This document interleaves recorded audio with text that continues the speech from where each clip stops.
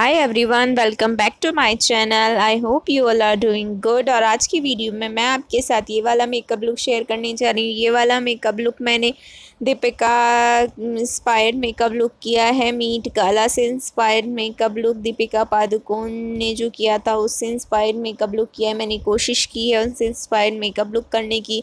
तो I hope आप लोगों को पसंद आएगा। और हाँ मैंने हेयर स्टाइल उनके जैसा नहीं किया है, क्योंकि मेरे पास ना हेयर एक्सटेंशन थे, ना हेयर एक्सेसरीज थी, उसके लिए हेयर एक्सेसरी हेयर एक्सटेंशन होना ज़रूरी है, तभी वो वाला हेयर स्टाइल आपका हो सकता है, इसलिए मेरे पास नहीं था तो मैंने नहीं किया, बस मैंने मेकअप किया है, वो भी बहुत ज़्यादा अफोर्डेबल प्रोडक्ट से किया है, मेरे जितने भी प्रोडक्ट हैं, वो थ्री फिफ्टी के अंदर हैं तो मैंने आप लोगों के लिए इसको इजी किया है और बहुत ही सस्ते प्रोडक्ट्स के साथ इसको किया है। तो आई होप आप लोगों को पसंद आएगा। पसंद आए तो चैनल को लाइक चैनल को सब्सक्राइब कर लेना लाइक शेयर कर देना वीडियो को और हाँ एंड तक देखना कि ये लुक मैंने कैसे किया है। तो आइए देख लेते कि इसको कैसे करना है। सबसे पहले मैंने अपना D I Y makeup setting spray अपने फेस पे लगाऊँगी। इसको थोड़ा सा लगा के और ड्राई होने देंगे। इसमें हमारा फेस मॉइस्चराइज भी हो जाता है।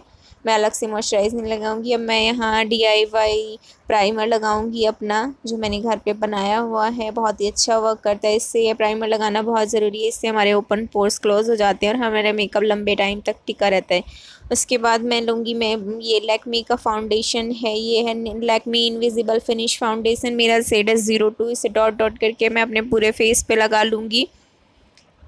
और एक वेट ब्यूटी ब्लेंडर लेके इसे अच्छे से अपने पूरे फेस पे सेट कर लूँगी। मैंने जितने भी यहाँ प्रोडक्ट यूज़ किए हैं, वो बहुत ही अफोर्डेबल हैं, बहुत ही ईजीली आपको कहीं भी मिल जाएँगे। आप कहीं से भी ऑनलाइन या ऑफलाइन कहीं भी ले सकते हैं। अब ये है मार्स की आई शेडो पैलेट इसमें इससे मैं concealer contour sorry concealer palette इससे मैं कंसीलर को एज अ बेस अपनी eye base eye shadow base लगाऊँगी। और थोड़ा सा अपनी आइज़ के डार्क सर्कल्स को छिपाने के लिए भी लगाऊँगी नीचे। अच्छे से अपनी आई शेडो बेस की तरह मैं इसको लगा लूँगी, जिससे कि जो हमारा आई शेडो का कलर है वो बहुत अच्छे से निकल के आएगा। ये भी कंसीलर पैलेट बहुत सस्ती है। ये वन फिफ्टी की कंसीलर पैलेट है उसमें आपको एट कलर मिल जाते हैं। कंटोर पैलेट सब कुछ आप इससे कर सकते हैं। थोड़े से नोज़ पे लगाऊँगी जिससे मेरी नोज़ हाईलाइटेड हो जाए।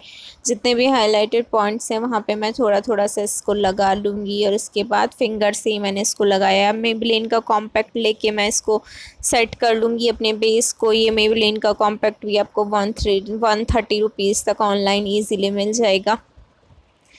अच्छे से पूरे इस फेस की पाउडर सेटिंग कर लूँगी। अब यहाँ सिवाना की आई शेडो पैलेट है, ये भी थ्री फिफ्टी की है और इससे मैं एक एंगुलर ब्रश लेके अपनी आईब्रोज़ को फिल करूँगी। आईब्रोज़ को फिल करना बहुत ज़रूरी होता है। मेकअप में इससे हमारा लुक बहुत प्यारा आता है। अच्छे से मैं आईब्रोज़ को, दोनों आईब्रोज़ को फिल कर लूँगी। उसके बाद इस पुली की हेल्प से मैं अपनी आईब्रोज़ को फिल कर लूँगी, जिससे जितना भी एक्स्ट्रा पाउडर है वो हट जाए।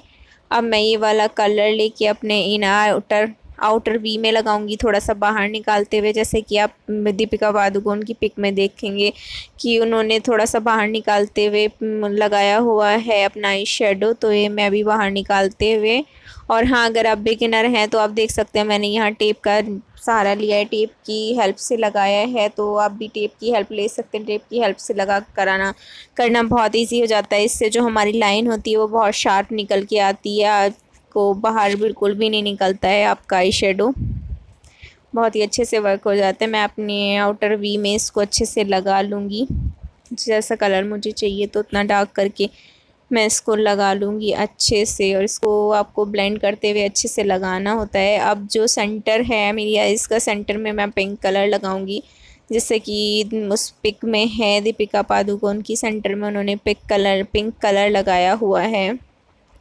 मैंने कोशिश की है सेम करने की और ये आचार की आई शेडो पैलेट है, ये बहुत ही अच्छी आई शेडो पैलेट है और ये भी थ्री फिफ्टी के अंडर आती है।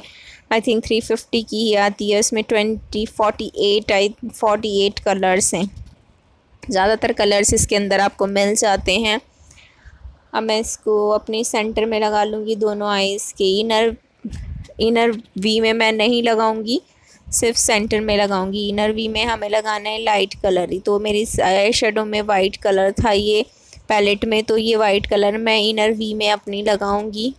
आप देख सकते हैं इनर वी में। मैंने अच्छे से लगा लेना है इनर वी में लाइट कलर मैंने कोशिश की है सेम करने की।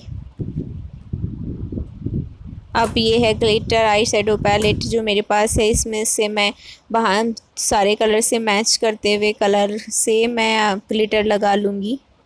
बाहर की साइड आप देख सकते हैं, इससे मैचिंग मेरे पास ग्लिटर थे तो मैंने इसके ऊपर लगाए हुए हैं। आप पिक में देखेंगे, दीपिका पादुकोण की उन्होंने लगाया हुआ है ग्लिटर।